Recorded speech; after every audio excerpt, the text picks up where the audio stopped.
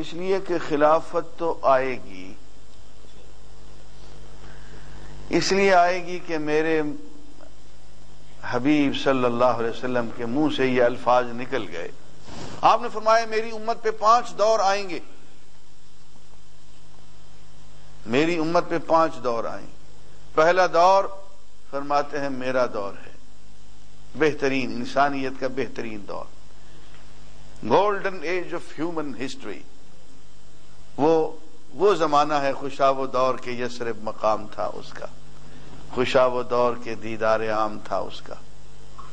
وہ انسانیت کا سنہری دور۔ فرمایا، یہ پہلا دور میری امت پہ، میرا دور۔ دوسرا دور، فرمایا، خلافت راشدہ کا دور۔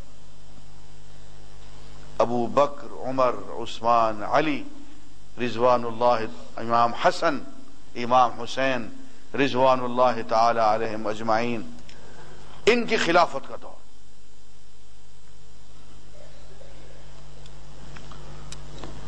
تیسرا دور فرمایا، ظالم ملوکیت کا دور۔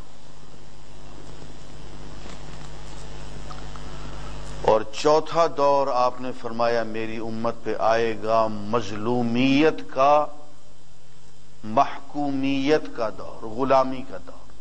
باہر کے لوگ آ کے ان کو دبوچ لیں گے، غلام بنا لیں گے۔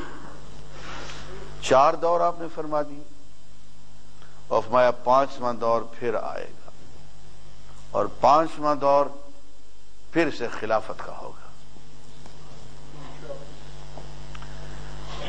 یہ یہ جملے میرے آقا نامدار صلی اللہ علیہ وآلہ وسلم کے منہ سے نکلے ہیں۔ اس لیے خلافت کو روک تو کوئی نہیں سکتا۔ لیکن پتہ نہیں وہ کون خوش نصیب ہوگا جس کے ہاتھوں یہ خلافت آ جائے۔ اس دور میں ان جو صدیاں گزر رہی ہیں، ان دس بارہ صدیوں میں اس سے زیادہ خوش نصیب انسان اور کوئی نہیں ہوگا جس کے ہاتھوں خلافت راشدہ پھر سے آ جائے۔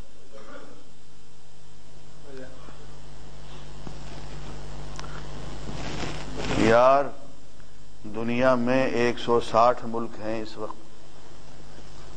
ان میں جو ساٹھ ملک مسلمان ہیں، سو ملک مختلف دینوں ادیان کے ہیں۔ ایک سو ساٹھ وزیر اعظم تو ہوں گے نا؟ کتنے وزیر اعظموں کے ناموں کو آپ جانتے ہیں؟ تو وزیر اعظم آتے ہیں، چلے جاتے ہیں مرمرا جاتے ہیں، کوئی ان کو پوچھتا نہیں، کسی کو ان کے ناموں کا پتہ نہیں ہوتا۔ لیکن عمر بن عبدالعزیز کو تو کوئی نہیں بھولا۔ صرف اڑھائی سال، بھائی عمر بن عبدالعزیز سے پہلے بھی لوگ گزر گئے، اس کے بعد بھی گزر گئے۔ لیکن عمر بن عبدالعزیز رحمت اللہ علیہ، اس کے بعد دیکھیں بہت لوگ اور بھی آئے۔ کیا کیا تھا اس نے؟ اس نے کوئی اپنی جاگیریں بنائی تھی عمر بن عبدالعزیز نے کوئی کارخانے لگائے تھے؟ عمر بن عبدالعزیز نے اپنی آئندہ نسلوں کے لیے کوئی حکومت کا بندوبست کیا تھا؟ اور یار، صرف اڑائی سال اس کی حکومت تھی۔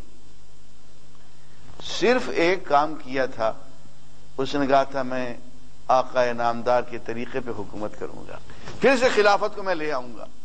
وہ خلیفہ بن گیا۔ تو دنیا میں وزیر اعظم بننا کوئی بڑی بات نہیں ہے۔ دنیا میں ہر وقت ایک سو ساٹھ وزیر اعظم موجود ہوتے ہیں۔ جن کا نام کا ہی ہمیں پتہ نہیں کون ہے، کیا نہیں۔ مرکب جائیں گے، کسی کو پتہ نہیں ہوگا۔ لیکن اے کاش، اب جو شخص آنے والا ہمارا وزیر اعظم ہے، وہ صرف وزیر اعظم نہ ہو، وہ عمر بن عمر بن عبدالعزیز کا متبع اور مقلد ہو۔ لوگوں کو اندازہ نہیں ہے کہ ساری عزت اس میں رکھی ہوئی ہے۔ وہ حضرت عمر کو پروٹوکول دیا گیا نا خلیفہ کا۔ کہ جی آپ خلیفہ بن کے جائیں بیت المقدس میں اور بیت المقدس کی چابیاں آپ ایک ٹھیک ٹھاک پروٹوکول والے خلیفہ کی حیثیت سے وصول کریں شہانہ ٹھاٹ باٹ سے جائیں۔ ایک مشکی گھوڑا لے کے آئے، شاہی پوشاک لے کے۔ سید عمر بیچارے دیکھتے رہے تماشا کہ یہ میرے صحابی میرے ساتھ کر کیا رہے ہیں۔ تو حضرت عمر سے کہا کہ یہ شاہی پوشاک آپ پہنے، پہنا دی۔ دیکھا اپنے آپ کو۔ مشکی گھوڑے پہ بیٹھ گئے۔ مشکی گھوڑا چلا اور اس کی شاہی چال تھی۔ مشکی گھوڑے پہ بھی سواری کر لی، شاہی پوشاک بھی پہن لی۔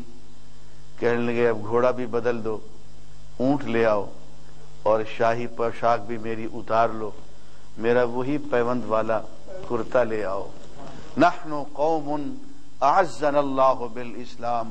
ہم وہ قوم ہیں کہ ہمیں اللہ نے اس پروٹوکول سے عزت نہیں دی ہے، ہمیں اللہ نے اسلام سے عزت دی ہے۔ اور یہی حضرت عمر مکہ میں گئے، مکہ کے پہاڑوں سے گزرنے لگے، رونے لگے۔ صاحب نے پوچھا کہ امیر المومنین کس بات پہ روتے ہیں؟ کہنے لگے یہ وہ جگہ ہے جہاں میرا باپ خطاب مجھے چھڑیوں سے مارا کرتا تھا۔ اس لیے کہ مجھے وہ اونٹ چرانے کو دیتا تھا اور اونٹ مجھ سے چرائے نہیں جاتے تھے۔ اونٹ بھاگ بھاگ جاتے تھے۔ کوئی اونٹ ادھر بھاگ جاتا تھا، کوئی اونٹ ادھر بھاگ جاتا تھا۔ میرے والد کو میرے بارے میں، میرے کیریئر کے بارے میں، میرے مستقبل کے بارے میں فکر تھی کہ میں چرواہا نہیں بن سکوں۔ میں اونٹ چرانے والا نہیں بن سکوں گا۔ وہ اس بات پہ پریشان تھا اور مجھے مارتا تھا۔ قربان جائیے محمد الرسول اللہ صلی اللہ علیہ وسلم کی۔ آپ کے قدموں کی برکت دیکھیے کہ عمر جو کہ چرواہا نہ بن سکا، اس نے پوری انسانیت کو چرا کے رکھ دیا۔ پوری انسانیت کا اللہ نے اس کو، جو اونٹ نہ چرا سکا۔ اونٹ چرانے میں جو شخص ناکام ہو گیا، اونٹ اس کے قابو میں نہیں آئے۔